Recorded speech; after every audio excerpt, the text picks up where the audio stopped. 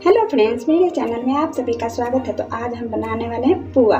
पुआ तो वैसे आप बहुत बार बनाए होंगे, बहुत तरीके से बनाए होंगे, लेकिन आज हम बहुत आसान तरीका बता रहे हैं। तो सबसे पहले बाउल ले लें, उसमें एक कटोरी सूजी डाल दें। सेम उसी कटोरी से हम मैदा डाल देंगे।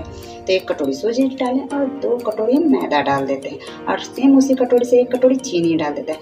आप अपनी क्वान्टिटी के हिसाब से कम या ज़्यादा कर सकते हैं। अब हम मावा आधी कटोरी डाल देते हैं। मावा डालने से कि पुआ बहुत ही अच्छे टेस्टी लगते हैं। और तीन से चार इलायची ले लिए उसे पीस कर डाल और दूध लिए फुल क्रीम दूध गुनगुना करके ले लिए एक गिलास।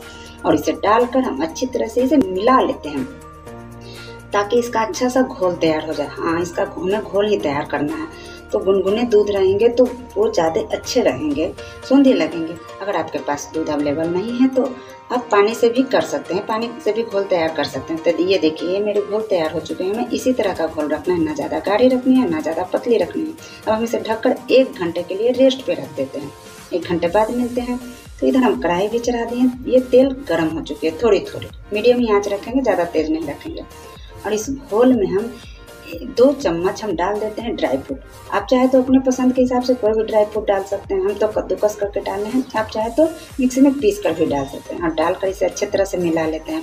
और मिलाकर चमचे में उठाकर इस तरह से ऐसे हम तेल में आहिस्ते से डाल देंगे। और इसे जब फूलने लगे, हल्का सा ऊपर उठने लगे तो हम इसे चम्मच से ऐसे ऊपर से तेल डालते जाएँगे। ये बिना इनो, बिना मीठा सोडा के दोस्तों। तो इस तरह से इसे फूल जाएँगे, चम्मच से डालते जाएँगे तो। जब इस फूल कर साइड हो जाए तो फिर से एक डाल दीजिए। ये झटपट से पुआ बनकर तैयार हो जाएँगे।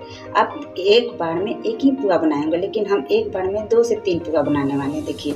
तो जब ये फिर से एक तरह से सुनहरा हो जाए तो उलट पलट कर दें और इन दोनों को साइड करके फिर से हम एक डाल देते हैं। देखिए वाह, कितने अच्छे लग रहे हैं। एक साथ तीन तीन पुए बनकर तैयार हो रहे हैं। तो इसी तरह से हम जल्दी जल्दी डालकर बनाते जाएँगे और जल्दी जल्दी पुए भी फूलते जाएँगे। गैस कांच हम मीडियम ही रखेंगे? दोबारा से बता रहे हैं। और जब ये सुनहरे हो जाए तो हम कच्ची से छान लेते हैं, छन्नी से छान लेते हैं और इसे साइड में कर कर इस तरह से चमचे से तेल गाड़ देते हैं। ये तो बन गए। अगर ये वीडियो पसंद है तो वीडियो को लाइक करें, चैनल को सब्सक्राइब करें और ज़्यादा से ज़्यादा दोस्तों में शेयर करें। तो मिलते हैं नेक्स्ट वीडियो में। Thank you.